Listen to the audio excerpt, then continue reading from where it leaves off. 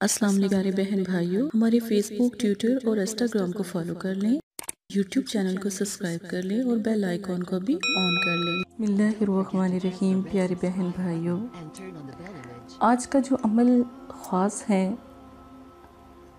कारोबार की तरक्की का अमल। कारोबार की तरक्की कारोबार की बंदिश की वजह से कारोबार का ख़त्म होना रिस्क का ख़त्म होना घर में फाका कशी होना अक्सर ालिम लोग होते हैं जो आपकी बंदिश लगा देते हैं, जो ख़ुद भी खुश नहीं रहते और दूसरों को भी रहने नहीं देते। सबसे पहले आप सल्लल्लाहु अलैहि वसल्लम की हदीस से शुरू करते हैं। आप सल्लल्लाहु अलैहि वसल्लम ने इशाद फरमाया कि सब लोग क़्यामत के दिन अपने हिसाब में मशगूल होंगे, लेकिन जो सदका करने वाले हैं सदक़े के साय तले होंगे। प्यारे बहन भाइयों, जब आप सदका खैरात नहीं करते तो कारोबार भी बंद हो जाते हैं, ख़त्म हो जाते हैं।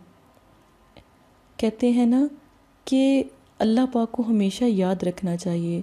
जब भी आप काम करते हैं, कोई भी उसमें एक हिस्सा, थोड़ा सा ज़र्रा अल्लाह के नाम का रखें, फिर देखें, तरक्की और बंदिश भी ख़त्म होगी और बेहिसाब रिस्क भी आएगा। सूर्य कौसर का ख़ास एक वजीफ़ा, ख़ास एक अमल आपके साथ। मैं आज आपको समझाऊँगी भी, कोई आपको नहीं समझाएगा, जिस तरह मैं आपको समझाती हूँ। अगर आपने करोड़ों के हिसाब से रिस्क लेना है, चलें, यहाँ पर जितने पैसे लिखने हैं, वो आप लिख लें। मैंने अल्लाह पाक की ज़ात, जितनी बड़ी मेरे रब की ज़ात है, उसका कुछ हिस्सा मैंने यहाँ पर काउंट किया, यहाँ लिखा। ठीक है? आपने जितना लिखना है, अपने रब से, मोहब्बत के हिसाब से आप भी लिख लें, मैंने भी लिख दिया है। अब आपने ये नक्श छोटा सा बिल्कुल, ठीक है, एक से दो इंच का बनाना है, बिल्कुल छोटा सा, दस रुपये के नोट पर। और जब आप दस रुपये के नोट पर ये छोटा सा नक्श बनाएँगे ना तो फिर आपने पता क्या करना है? इसको कभी भी एक दफ़ा ही नक्श बनेगा बार बार नहीं। तो कभी भी गुम ना होने दीजिएगा, अपनी पॉकेट में रखिएगा, कहीं लगने ना दीजिएगा। ये आपने दस रुपये के, सौ रुपये के, जो भी आपको समझ आती है, पचास रुपये के नोट के ऊपर आपने ये बनाना है। इतना बनाना है, ठीक है? ये नीचे अमाउंट आपने अपने दिल में रखनी है। तो बेहिसाब रिस्क आपको आएगा। अमल का तरीका आप समझते हैं। सूर्य कौसर को एक बार, बिस्मिल्लाह को इकतालीस बार, अव्वल आखिर एक मरतबा दरूशीफ के साथ इतवार वाले दिन मगरिब के वक़्त मट्टी का प्याला घर में लाएँ, उसके ऊपर इसको दम करें। दम करने के बाद आपने यही नक्श बनाकर प्याले में कागज़, जो कागज़ पर बना होगा ना, सादा कागज़ पर, उसको प्याले में रखना है और फिर पानी डाल देना है। ये पढ़ाई करके उस पर दम कर देना है। दम तीन मरतबा करना है। पूरा घर पिए थोड़ा थोड़ा करके पूरा घर पिए। बंदिश ख़त्म हो जाएगी। क्या पता किसकी वजह से बंदिश लगी है? बंदिश ख़त्म हो जाएगी। रिस्क की बंदिश ख़त्म होगी। बेहिसाब पैसा और दौलत आपके पास आएगा। बंदिश ख़त्म करने का एक और तरीका मैं आपको समझाने लगी हूँ। मट्टी के प्याले में पानी लें और अपने पूरे घर में छिड़का दें। ये वाला अमल करके ना सूर्य कौसर का एक बार एक और बिस्मिल्लाह इकतालीस बार पढ़कर अपने घर के सारे कोनों में छिड़का दें। बंदिश टूट जाएगी, अल्लाह के कलाम का हिसार बंद जाएगा। आपके घर में कोई जादू नहीं कर सकता। आपके घर में कोई टूना नहीं कर सकता, आपके घर में कोई काला इलम सफलीलम नहीं कर सकता, आपके घर को नज़र नहीं लग सकती, कभी कोई बंदिश नहीं लगा सकता। शादियों की, रिश्तों की, अपने आपस में जो रिश्ते मोहब्बत के होते हैं, लड़ाई झगड़ा ख़त्म हो जाएगा। रिस्क तो आएगा ही, बंदिश भी ख़त्म हो जाएगी, बीमारियाँ ख़त्म हो जाएँगी। आप एक दफ़ा ये अमल करके तो देखें प्यारे बहन भाइयों। बंदिश का एक ख़ास तरीका आज मैं आपको समझाने लगी हूँ, लोग क्या करते हैं?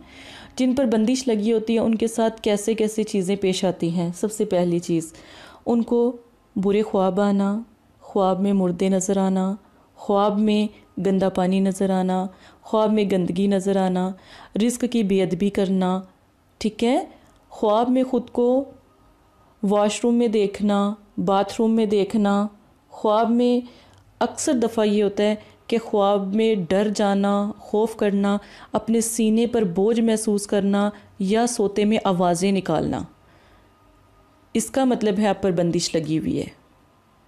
ख़ासकर मर्द हजरात पर यह बंदिश लगती है, याद रखिएगा।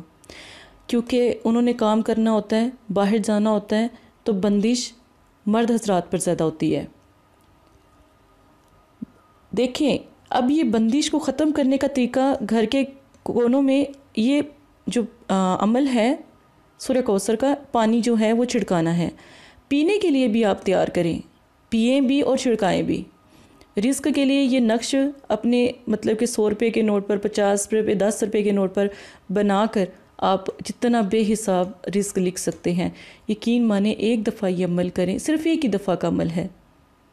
आपका मसला हल हो जाएगा। जितनी भी बंदिश है किसी ने जादू टूना किया है, किसी ने तावीज़ गंडे किए हैं, सारे ख़त्म हो जाएँगे। और आप यकीन माने कि बहुत ज़्यादा लोग परेशान करते हैं, कारोबार में किसी की दुकान है, किसी की कपड़े की, किसी की जूतों की, किसी की सब्ज़ी की कोई भी शॉप है, किसी की फैक्ट्री है, किसी के जानवरों का मसला है। जानवरों के प्रॉब्लम में भी आप जानवरों, जिस जगह आपने जानवर रखे हुए हैं, गाय, भैंस, बकरी वगैरह, वहाँ पर भी आप पानी का छिड़काव करें। बंदिश टूट जाएगी। हर तरह की बंदिश को ख़त्म करने का ये अमल है। बंदिश ख़त्म हो जाए, रिश्तों की बंदिश, प्यारों की बंदिश, हर किस्म की बंदिश, एक दफ़ा ये अमल ज़रूर करें, हर कोई ये करे। मेरी तमाम अमलियात की जो लाइव वीडियो हैं, वो आपको लाइव आठ पीएम पर ज़रूर मिल जाया करेगी। आठ पीएम पर सात बजे पोस्ट होगी, आठ बजे सबके पास पहुँच जाएगी। तो जल्द से जल्द जो है चैनल को भी सब्सक्राइब कर लें, ताकि मैं आपकी मदद कर सकूँ। और मैं सिर्फ़ दुआओं का ज़रिया हूँ, अल्लाह की ज़ात आपके साथ है। इसी के साथ अपनी इस बहन को इजाज़त दें। अगर मेरी बात समझ आती है तो अपने रिस्क के लिए ख़ुद को बुलंद करें। जजाकल्ला खैर। अस्सलाम वालेकुम, प्यारे बहन, भाइयों। अगर आप इस इस्तारा या रूहानी इलाज करवाना चाहते हैं या अमल करवाना चाहते हैं या अमलियात सीखना चाहते हैं तो हमारे फेसबुक पर आकर आप फेसबुक को फॉलो कर सकते हैं और यूट्यूब चैनल को सब्सक्राइब करके वहाँ पर हमसे बात कर सकते हैं। जो भी मसला परेशानी है उसमें ज़रूरत आपका नाम आपकी वालदा का नाम सिटी कंट्री मौजूदा और मसला बयान। ये चीज़ें बताकर आप अपना इस्तारा भी करवा सकते हैं। जैसा जजाकल्ला और अगर आपने इस्तारा करवाना है, तभी रबता करें। अगर इस्तारा नहीं करवाना तो ये दीन है, ये कोई फ़न या इंटरटेनमेंट नहीं है। अपना भी टाइम ज़ाया ना करें और मदरसे वालों का भी टाइम ना ज़ाया करें। आपकी वजह से बहुत से ऐसे लोग जो परेशान हाल घरों में हैं, उनकी भी बात फिर नहीं सुनी जा सकती। जैसा कला